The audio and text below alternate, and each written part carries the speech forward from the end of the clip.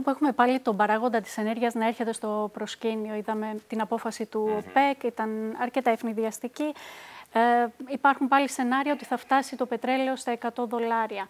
Αυτό ανατρέπει τους σχεδιασμούς; Ε, δεν έχω δει Πώς το λένε, την τελευταία ώρα που βρίσκεται το πετρέλαιο, αλλά το πρωί που το έβλεπα. Είναι κοντά στα 85 πλέον. Ωραία. Υπάρχει μια εκτίμηση ότι αν όχι μέχρι τα τέλη του έτους, την επόμενη χρονιά θα είναι πάλι στα 100. Κοιτάξτε. Επειδή υπάρχει και η ζήτηση ναι. από την Κίνα, δηλαδή ήρθε η μείωση της προσφοράς σε μια περίοδο που αρχίζει και πάλι αυξάνεται η ζήτηση. Κοιτάξτε, το πετρε... οι τιμές του πετρελαίου τους τελευταίους δύο-τρεις μήνες είναι ε, αρκετά σταθερές. Προφανώς αυτό δεν θα κρατήσει για πάντα.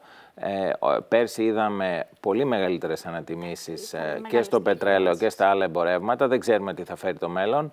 Ε, αλλά είναι κάτι για το οποίο σας λέω κάθε φορά η κυβέρνηση έχει δείξει μάλλον ότι μπορεί ε, να αντιδράσει στα απρόβλεπτα γεγονότα και, και μόνο αυτό μπορούμε να κάνουμε. Δεν μπορούμε να προβλέψουμε το μέλλον. Μπορούμε μόνο να πούμε στον κόσμο που μας παρακολουθεί ότι θα κάνουμε ό,τι μπορούμε για να αντιμετωπίσουμε ό,τι πρόβλημα ε, έρθει ε, μπροστά μας. Και αυτό είναι κάτι το οποίο εξορισμού είναι απρόβλεπτο. Πάντως, ε, κύριε Πατήλη, ε, πλησιάζοντας προς το Πάσχα και στην εποχή των μεγάλων μετακινήσεων, όπως λένε και στην Αμερική, ε, βλέπουν ο κόσμος τα πρατήρια βενζίνης στην ε, την 95 την αμόλυβδη να πλησιάζει προς τα 2 ευρώ.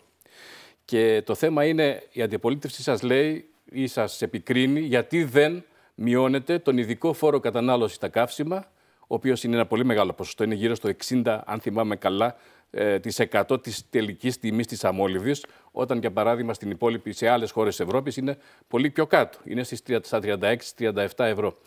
Ε, στην Κύπρο, για παράδειγμα, είναι πολύ χαμηλότερος ο ειδικός φόρος. Παρότι η Κύπρος ουσιαστικά εισάγει από εμάς πετρέλαιο και βενζίνη.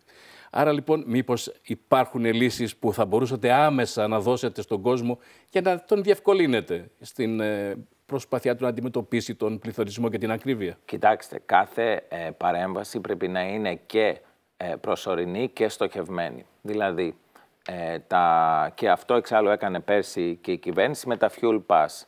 Ε, τα οποία κάποιοι τα λιδωρούν, ωστόσο από οικονομικής απόψεως είναι η σωστή πολιτική. Με ποια έννοια, ότι στοχεύουν προς τους πιο ευάλωτους, ενώ μια οριζόντια μείωση του ειδικού φόρου κατανάλωσης ή, εν πάση περιπτώσει, του ΦΠΑ θα ε, είχε το ίδιο αποτέλεσμα για όλες τις κοινωνικές ομάδες και για τους φτωχούς και για τους πλούσιους. Αυτό ε, είναι λάθος, γιατί με τα ίδια χρήματα μπορείς να το στοχεύσεις πιο πολύ στους πιο ευάλωτους και άρα να τους δώσεις περισσότερη στήριξη. Και υπάρχει και το ζήτημα του δεν μονεμότρου του προσωρινού. Ε, ότι... Να βγάλουμε μια είδηση λοιπόν από εδώ. Όχι, όχι. θα συνεχιστεί, θα συνεχιστεί για πολύ καιρό το...